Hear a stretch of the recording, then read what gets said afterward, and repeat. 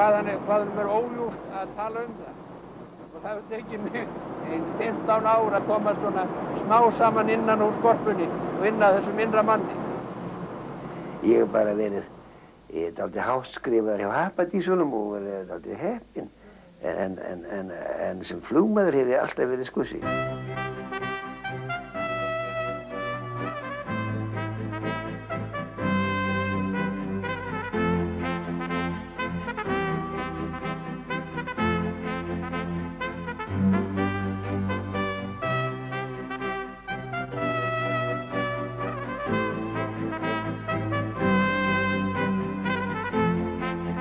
Það er morgun, Þorsteinn Jónsson, flugstjóri hjá Cargolús, fer frá heimili sín í Móseldal áleiðist til Findelflugallar við Luxemburg.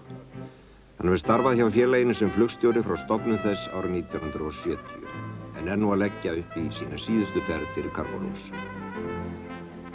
Hann er orðin 65 ára gamall og hefði raunar átt að láta af störfin 63 ára, eins og reglur segja til um. Þorsteinn hefur marga hildi háðum æfina, en það vinnur engin baráttuna við tíman. Þessari ferð er heitið til borga í Bandaríkjónum, fyrst er komið við í flugumsjón til að fá nýjustu fréttir af veðri á leiðinni. Farkosturinn er risaþóta af gerðinni Boeing 747 sem full hlaðinn vegur um 370 tonn. Í þau 17 ár sem Þorsteinn hefur starfað sem flugstjóri hjá Cargolús hefur hann flóið til flestra heimsála. Farmurinn hefur verið af ýmsum toga, vélarhlutir sem vega mörg tonn, dýrustu veðhlaupahestar í heimi og allt þar á milli. Þorsteini var á sínum tíma bóðinn staða yfir flugstjóri hjá Cargolux en hann afþakkaði. Kunni betur við sig í stjórnklefanum en bak við skrifborð og hafði engan áhuga á fleiri borðum og enginnispúningi. Á 46 ára ferli sínu sem flugmaður hefur hann ótal sinnu lent í lífsáska en ávalt sloppið með skrekki. Hann á að baki um 36.000 flugstundir, fleiri en flestir aðrir flugmenn í heiminn. Hann er verið laungu orðin þjóðsagnaperson á Íslandi og raunar víða erlendis.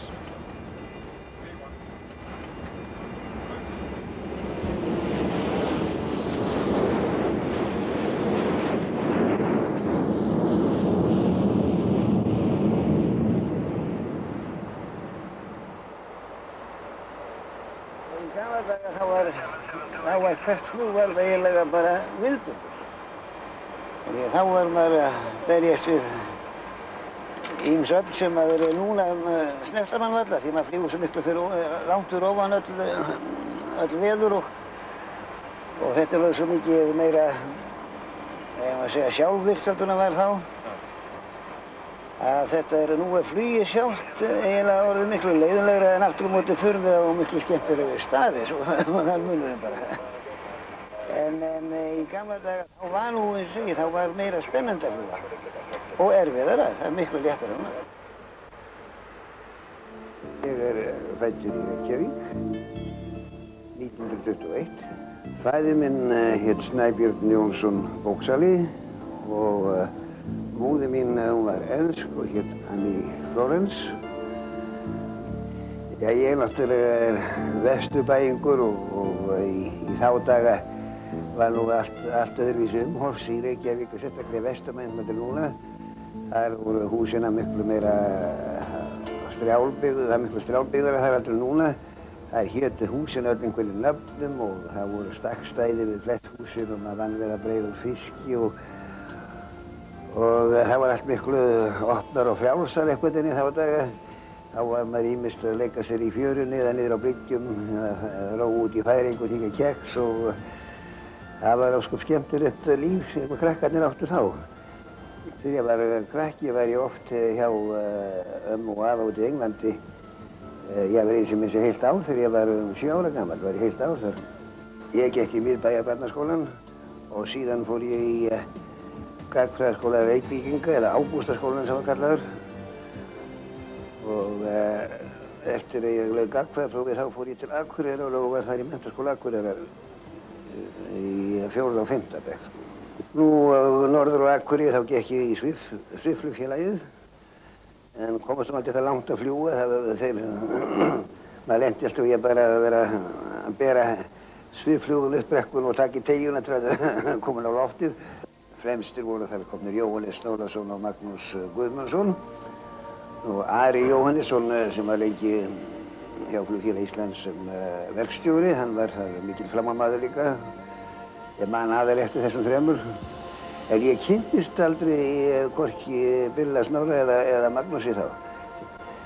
Um leið og stríðið byrjaði þá sótt ég um að komast í flugherrin eftir ég mig langur til að læra að fljúa. Og ég byrjaði, byrjaði því að var samband við þarna ræðismennin í, á þarna Akureyri, hann heiti Kúk, kallinn. Og hann uh, skrifaði og fekk það svar að því miður þá getur þér ekkert, ekki tekið mig. Síðan fór ég til Reykjavíkur og hafði samband við uh, breska sendiráði þar og þeir skrifðu líka fyrir mig til Börnlands sem fengur sama svar að því miður þá, þá get ég ekki það því að væri útlendingur og kemist ekki inn í breska herrin, eða flugherrin.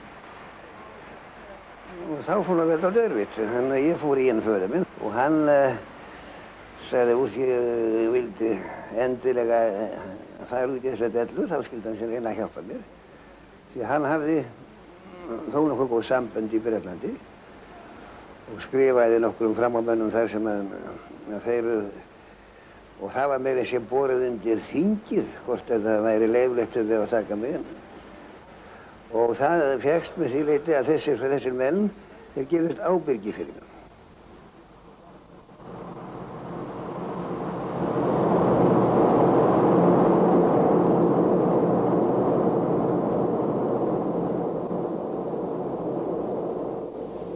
Fyrstu þrjála fjóra vikurinn var þetta bara þetta sem sé bara skóla, skólastofu nám, það var bara bóklegt nám og, og, og herrþjálfun, massuringum og allir sem til að vera í herr.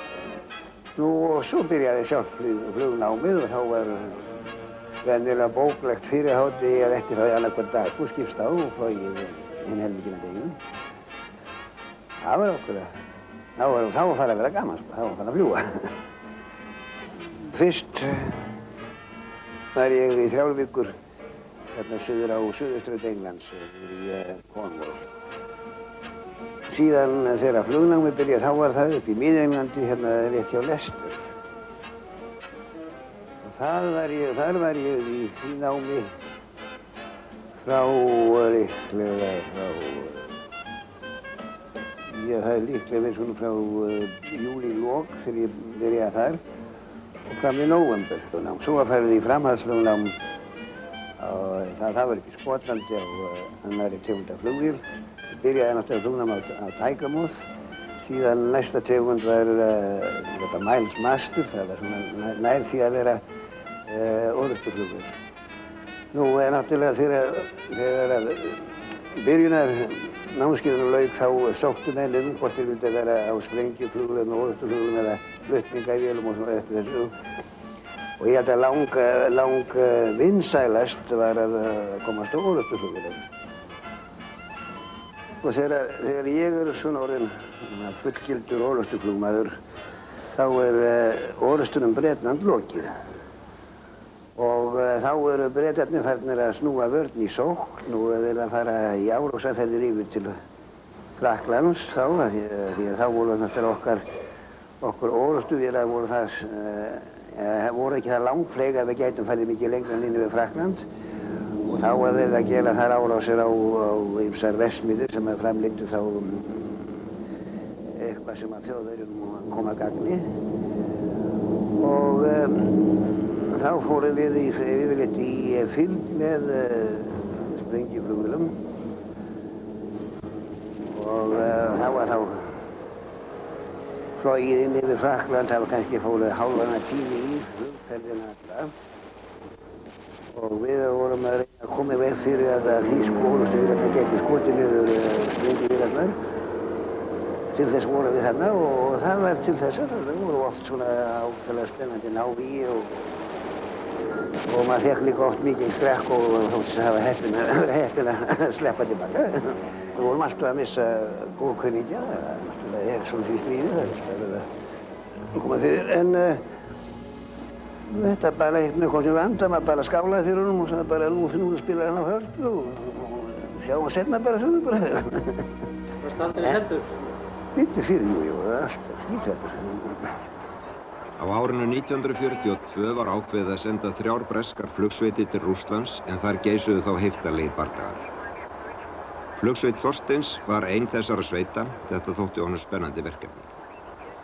Flugmerinnir voru komnir á skipsfjöl í Liverpool þegar hægt var við ferðina. Spitfire-vélar flugsveitanna höfðu verið sendar á stað á undan og var skipalistinn sem flutti þær undir öflugri verð. Engu að síður tókst þjóðverjum að ráðast á skipin þar sem þau voru á leiði norðum með ströndum Noregs með þeim afleiðingum að orustu flugleifnar lágu nú á hafsbótni. Það var því sjálf hægt við Rúslands ferðasinni og flugsveit Þorsteins sendi allt annan heimsluta til að taka þátt í baratúr þar. Engi veit hvort Þorstein hefði flóið sína síðustu ferð í Rúslandi eða ekki, hefði hann náðangað. En víst er að svo ferð hefði verið með öðrum hætti en síðasta ferðans á vegum Cargolux, þar sem honum var hvarvetna fagnað með blómum og gjöfum frá samstagsfólki.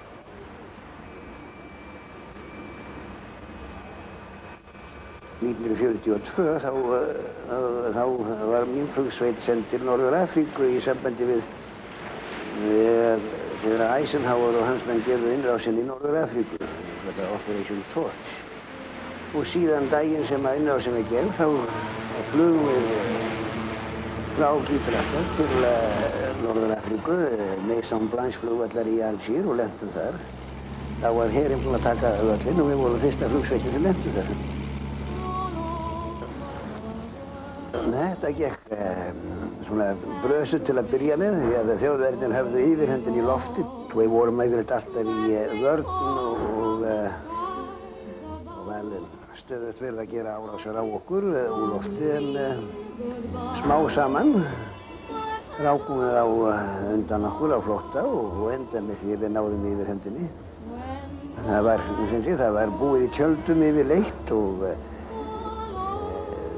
það var allt í lagi nema þegar ringdi þá var ómaður bjökla í, í augrun og það var þar sem að ég sá eitthvað að merkilegast á öllum stríðsólunum þegar að við vorum á Súliðisvelli það var svo mikil aur að, að það verður tveir menn að sita á, á skilun á vélunum meðan hún var að aka út þess að hún færi ekki á nefið.